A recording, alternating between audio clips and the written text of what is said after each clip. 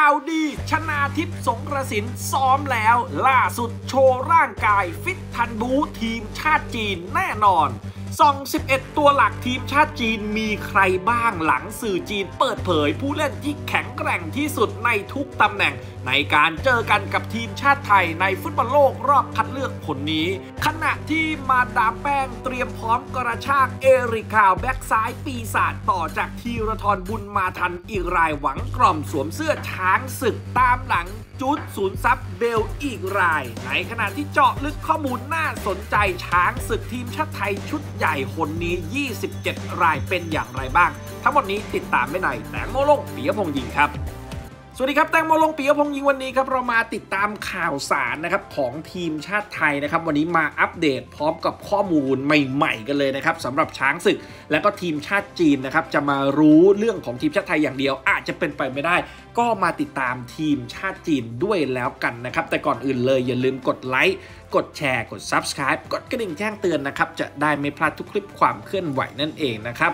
ล่าสุดเลยนะครับก็ต้องบอกว่าทีมชาติไทยของเราเนี่ยลงสนามฝึกซ้อมกันอย่างต่อเนื่องอยู่แล้วนะครับแล้วก็ต้องบอกว่าทุกคนเนี่ยมีสภาพร่างกาย แล้วก็มีสีหน้าสีตามั่นอกมั่นใจ และมุ่งมั่นจริงๆนะครับในการฝึกซ้อมครั้งนี้ เพราะว่าทีมชาติไทยของเราตอนนี้เนี่ยก็มีเรื่องของการแข่งขันภายในทีมด้วยนะครับเพราะว่ายังไม่ได้ตัดตัวสุดท้ายแล้วเดี๋ยวทีมชาติไทยเนี่ยคงจะต้องตัดตัวออกนั่นเอง แต่ว่าไปยกขยงแบบนี้เลยนะครับ อย่างไรก็ตามจะเป็นตัวเลือกของมาซาทดะอิชิอิแน่นอนนะครับ การแข่งขันนัดนี้สำคัญจริงๆนะครับอิชิอิยังเน้นเรื่องของการเตรียมร่างกายให้พร้อม และได้เพิ่มการร่วมเล่นนะครับเพื่อให้เข้าใจนะครับซึ่งกันและกันมากยิ่งขึ้น ในขณะที่ชนาทิพย์สงกระสินนะครับล่าสุดก็มีภาพเปิดเผยออกมานะครับว่าเจ้าตัวเนี่ยฝึกซ้อมแยกแล้วนะครับ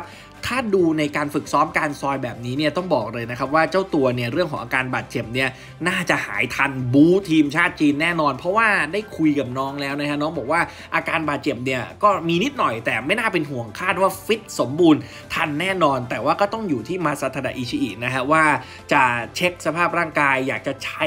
ในช่วง 15 นาทีหลัง หรือว่าช่วงครึ่งแรกหรือว่าอย่างไรตรงนี้ก็อยู่ที่เฮสโค้ดนะครับว่าจะทำอย่างไรนะครับส่วนเรื่องของการฝึกซ้อมเนี่ยวันนี้เรามีเรื่องราวของอัครพงศ์ผู้วิเศษ นี่คือกองกลางทีมชาติไทยว่ากันว่านะครับโอ้โหไม่เคยติดทีมชาติเลยครับนะครับมาครั้งนี้นะครับติดทีมชาติครั้งแรก ต้องบอกว่าเข้ามาอยู่ในสารระบบไม่รู้ไปอยู่ไหนมา แต่ช่วงนี้ฟอร์มร้อนแรงเหลือเกินนะครับ ในขณะที่อีกคนหนึ่งอีราฟานดอเระดาวรุ่งทีมชาติไทยก็บอกว่าตื่นเต้นเหมือนกัน กับการติดทีมชาติไทยชุดใหญ่นะครับโอ้โห แต่ละคนมานี่ต้องบอกนะครับว่าภาคภูมิใจในการลงสนามให้กับทีมชาตินะครับอะเดี๋ยววันนี้ไปฟังบทสัมภาษณ์กันก่อนนะครับ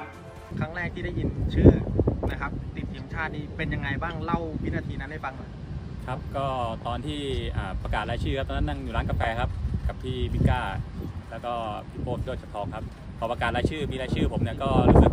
ดีใจครับมือไม้สั่นอ่าทำตัวไม่ถูกครับว่าว่าต้องทำไงต่อก็ตื่นเต้นครับ ดีใจครับก็ต้องขอบคุณทางอิชิครับ ที่ได้ให้โอกาสผมได้เข้ามาเป็นนักกีฬาทีมชาติไทยครับ ครับผมฝันนี้รอมาประมาณกี่ปี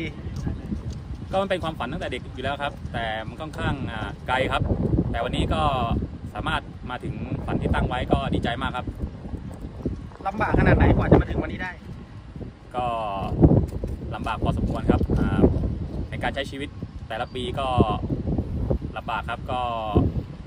อดทนฝ่าฟันมันมาได้ครับ จนถึงจุดนี้ครับก็ดีใจครับ แน่นอนเราเคยเป็นเด็กฝึกงานที่ BG เอ่อจนวันนี้เนี่ยได้มามีชื่อติดทีมชาติและมาซ้อมที่สนามใน BG ในฐานะนักฟุตบอล ความรู้สึกนี้มันต่างกับตอนนั้นยังไงบ้าง ก็ตอนนั้นเข้ามาเป็นในฐานะเด็กฝึกงานครับ ตอนนี้เข้ามาเป็นนักกีฬาของทีมชาติก็รู้สึกคนคนคนละฟิวกันครับยังไงครับก็ดีใจช่วยอธิบายหน่อยดีใจที่ได้กลับเข้ามาครับก็ตอนฝึกงานก็จะเป็นแบบเด็กฝึกงานธรรมดาครับวันนี้มาในฐานะนักฟุตบอลทีมชาติดีใจครับอ่าเจเก้าประตูที่เจทำได้ในไทยลีกปีนี้ส่วนใหญ่มันมาจากการอยู่ในพื้นที่ที่เหมาะสมเหมาะเจาะแล้วก็เป็นการเข้าฮอตส่วนใหญ่ เจมองว่าสไตล์การเล่นของเจเนี่ยมันจะตอบโจทย์วิธีการของอิชิมากน้อยแค่ไหนครับน้อง ก็ถ้าเข้ามานี่ก็จะเรียนรู้กับแทคติกของอิชิอิแล้วก็เรียนรู้กับพี่ร่วมทีมให้ให้ไวที่สุดครับ เพื่อพัฒนาตัวเองแล้วก็ต่อยอดในการลงไปเล่น ถ้ามีโอกาสก็เต็มที่แน่นอนครับ การเข้าแคมป์ผ่านมาแล้วหนึ่งวันครับ ปรับตัวกับเพื่อนร่วมทีมหรือว่าพี่ๆในทีมเป็นไงบ้างนี่คือการเข้าแคมป์ครั้งแรกเหมือนกันกก็พี่ๆทุกคนเป็นกันเองครับ ก็เจอกันอยู่แล้วครับในสโมสรก็รู้สึกอบอุ่นดีครับ กับจีนตั้งเป้าไว้ไงบ้างครับ ก็มีความหวังที่จะเก็บ 3 คะแนนครับ เพราะว่าเราถ้าเราเก็บ 3 คะแนนจากจีนได้ แล้วก็มาเก็บ 3 คะแนนจากสิงคโปร์ได้ก็มีโอกาสเข้ารอบต่อไปครับ ปังครับพูดถึงการติดทีมชาติชุดใหญ่ครั้งแรกของปังหนะครับ ก็ตื่นเต้นมากครับ แล้วก็เป็นเป็นเกียรติสำหรับตัวผมเองมาก ในทีมในตำแหน่งที่ปังเล่นนะครับ คิดว่าอยากจะเล่นแบ็กซ้ายหรือว่าในตำแหน่งกองกลางมากกว่ากัน ผมก็แล้วแต่โค้ชนะครับว่าจะให้เรา ทำหน้าที่ในบทบาทไหนครับก็อยู่ที่โค้ชเลือกผมก็พร้อมสำหรับสองตำแหน่งครับรู้สึกไงบ้างครับได้มาอยู่กับทีมที่แบบมีซูเปอร์สตาร์ค่อนข้างที่จะเยอะเลยพี่ๆเป็นไงบ้างครับก็พี่ๆก็นิสัยดีแล้วก็แบบอ่าอารมณ์ดีแล้วก็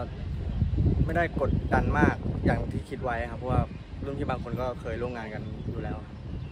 พี่ๆเขาได้สอนหรือว่ามีแนะนำอะไรเป็นพิเศษไหมครับ ก็มีเรื่องแบบอ่าความมั่นใจแล้วก็ ตั้งใจในการเล่น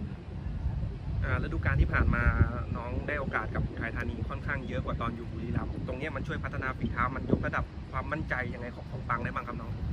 สำหรับผมก็เป็นเรื่องของการตัดสินใจครับว่าแบบจังหวะนี้ควรจ่ายหรือว่าควรส่งอะไรอย่างเงี้ยกับทีมชาติจีนมองชุดนี้เป็นไงครับจีนชุดนี้ ก็ผมว่าเราก็สู้ได้ครับแน่นอนไปทีแล้วก็หวังสามแต้มอยู่แล้ว เพราะว่ามีผลในการเข้ารอบต่อไปครับ ฝากถึงแฟนบอลหน่อยครับ ก็ฝากถึงแฟนบอลชาวไทยทุกคนครับ ช่วยให้กำลังใจพวกเราอ่าวันที่ 5 ครับที่เตะกับจีนครับฝากเชียร์กันเยอะๆครับ เอาละครับ และนั่นก็คือบทสัมภาษณ์นะครับอะแต่ว่าตอนนี้มีข่าวของมาดามแป้งนะครับ ล่าสุดเลยเนี่ยเพิ่งจะคุยกับจุด เบลศูนย์ซับไปนะครับ แล้วก็คาดว่าน้องเนี่ยเดี๋ยวจะมาทำบัตรประชาชนแล้วถ้าหากว่าไทยเราสามารถผ่านเข้าสู่รอบถัดไปได้ เป็นทางเลือกสุดๆเลยนะครับ ที่มาซาตดะอิชิอิจะได้ใช้บริการกองหน้านะครับ จากท็อตแนมฮอตสเปอร์นะครับในรุ่น U21 นะครับถ้ามีโอกาสเนี่ยอาจจะได้เห็นนะเออต้องบอกว่าอย่างนี้แต่เราอยากเห็นอยู่แล้วนะครับจูดเนี่ยมาลงสนามให้กับทีมชาติไทยโอ้โห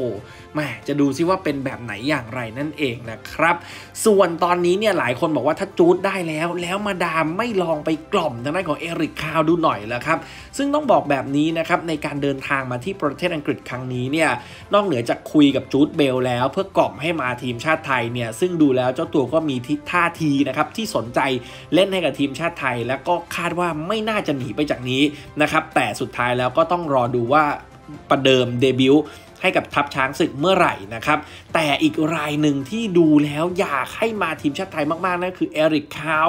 นะครับเพราะว่าก่อนหน้านี้เนี่ยเจ้าตัวโชว์ผลงานได้อย่างยอดเยี่ยมเลยนะครับ แต่สุดท้ายเนี่ยมีรายชื่อไปติดทีมชาติสวีเดนชุดใหญ่นะครับ แต่เจ้าตัวก็โชคร้ายเหมือนกันนะครับ มีอาการบาดเจ็บ ก็เลยไม่ได้ติดทีมชาติในครั้งนั้นนะครับ ซึ่งช่วงนั้นเนี่ยมันเป็นช่วงที่ลองตัวด้วยนะครับสำหรับทีมชาติของเขา แต่อย่างไรก็ตามสถานการณ์แบบนี้เนี่ยก็คงจะไม่ได้เกิดขึ้นบ่อยๆนะครับที่ทีมชาติสวีเดนเนี่ยจะไม่เรียกสตาร์ดัง ๆ มาเลยจากบรรดาลีกยุโรปนะครับ เพราะว่าล่าสุดเนี่ยทางด้านของผู้จัดการทีมชาติสวีเดนก็ไม่ได้มีการเรียกตัวเอริคคาร์ลเข้ามาติดทีมในช่วงโปรแกรมฟีฟ่าเดย์ที่ผ่านมาแต่อย่างไรนั่นเองนะครับ ก็ต้องบอกว่าตอนนี้แหละเป็นช่วงจังหวะของอทีมชาติไทยของเราถ้าหากว่ามีการพูดคุยมาไม่น่าจะติดปัญหา เพราะว่าจริง ๆ แล้วเนี่ยคุณแม่ของเอริกคาวเนี่ยเป็นคนกรุงเทพ แล้วก็น้องเนี่ยเกิดที่โรงพยาบาลภูมิพลก่อนจะย้ายไปอยู่หัวหินตอนอายุได้ขวบหนึ่งทำให้เจ้าตัวเป็นคนไทยตั้งแต่กำเนิดอยู่แล้วนั่นเองนะครับอะสำหรับการพูดคุยกับนักเตะลูกครึ่งของอ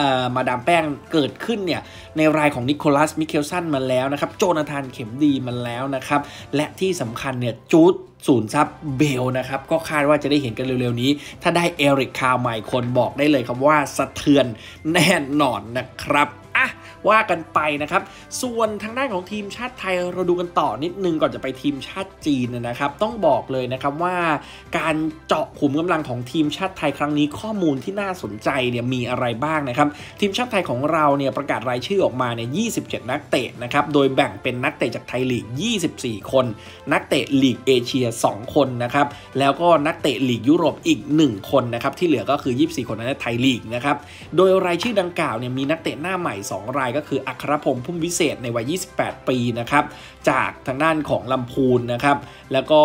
ต้องบอกว่ามีอิราฟันดอเราะกองกลางวัย 23 ปีจากอุทัยธานี ถือเป็นแข้งฟอร์มดีในรุ่นอายุไม่เกิน 23 ปี ที่ได้รับโอกาสขึ้นมาสู่ชุดใหญ่นั่นเองนะครับ ส่วนข้อมูลสถิติอื่นๆเนี่ยอย่างธีรศิลป์แดงดากองหน้าตัวเก่าของทีมชาติไทยนะครับก็เป็นครั้งแรกที่เดบิวต์ในยุคของอิชิอินะด้วยวัย 35 ปีนะครับแล้วก็มีนักเตะที่อายุมากที่สุดก็คือธีรศิลป์นี่แหละ ส่วนอายุน้อยที่สุดคือสุพนัทเหมือนตาและธีรศักดิ์เผยพิมาย 21 ปีเท่านั้นเองนะเด็กมากนะครับ และนักเตะที่สูงที่สุดนะครับ เอเลียส ดอร์1เมตร 96เซนติเมตรนะครับ แล้วก็นักเตะที่มูลค่าสูงสุดก็คือชนาทิพย์สองกรสินและสุภชัยใจเด็ด 1 ล้านยูโรนั่นเองนะครับ ในขณะที่ผลงานของอิชิอินะครับ ลงคุมทัพเนี่ยลงเล่นไป 7 นัด ภายใต้การคุมทีมชาติไทย ชนะ 1 นัดเท่านั้นเอง แพ้ 3 เสมอ 3 ยิง 4 นะครับ แล้วก็เสีย 11 ประตูนะครับสำหรับอิชิอิ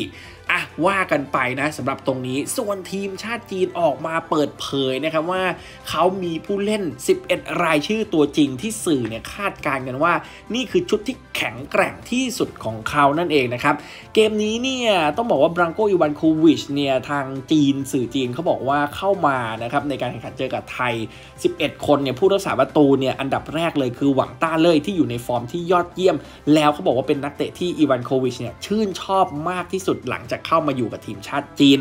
ส่วนหลิวหยางเนี่ยเป็นตัวหลักในตำแหน่งแบ็กซ้ายนะครับ เดิมทีนี่หลี่ซ่วยประจำตำแหน่งนี้ แต่อย่างไรก็ตามมีอาการบาดเจ็บ เพราะฉะนั้นหลิวหยางน่าจะได้โอกาสนะครับ ส่วนผลงานที่โดดเด่นนะครับ คนอื่นๆเนี่ยมีเจียงกวงไทยนะครับสู้เจินจี้นะครับในฐานะกองกลางตัวหลักของทีมชาติจีนทั้งสองคนทำผลงานได้ดีเป็นพิเศษ จะได้ลงเล่นต่อเนื่องแน่ๆนะครับแล้วก็จะเป็นทางด้านของฮันเปยเฟยนะครับที่หายอาการบาดเจ็บเนี่ยกลับมาลงสนามเช่นเคย ขณะที่หวังชางหยวนนะครับกองกลางฟุตบอลทีมชาติจีนเล่นคู่กับเกาเทียนยี่ในแดนกลาง เนื่องจากทั้งสองคนมีคุณสมบัติที่เข้าขากันดีนะครับในขณะที่แดนหน้าของทีมชาติจีนบอกได้เลยครับว่าสนั่นแน่ มีเฟนันโดบวยซื่อฮาว จ้างยุนหนิงอลันนะครับ จะลงเล่นเป็นตัวจริง ซึ่งหวังว่านักเตะที่แข็งแกร่งที่สุดของพวกเขาเหล่านี้เนี่ยนะครับ มาเจอกับทีมชาติไทยเนี่ย มันจะได้มันกันสักทีนะครับ และที่สำคัญถ้าหากว่าเราเอาชนะพวกเขาได้คงไม่มีข้อคอรหาใด ๆ แน่นอน เพราะว่าโอนกระจายขนาดนี้นะครับ อันนี้คือทั้งหมดทั้งมวล ถ้าหากชื่นชอบอย่าลืมติดตามกันด้วยนะครับ โดยการกดไลค์ กดแชร์ กด Subscribe กดกระดิ่งแจ้งเตือนจะได้ไม่พลาดทุกคลิปความเคลื่อนไหวสำหรับวันนี้ลาไปก่อนสวัสดีครับ